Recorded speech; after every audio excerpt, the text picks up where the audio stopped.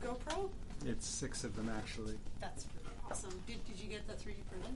Yes, the frame is 3D printed. Yeah. Yeah, that's pretty awesome. Now, do you know what we should do? Is Mhm. a carriage full and have it sliding from one side of the office to the Well, we're gonna get wheels for it because this is for the data center. So we're gonna go and do data center tours and do it in VR. Does it pick up sound? It does.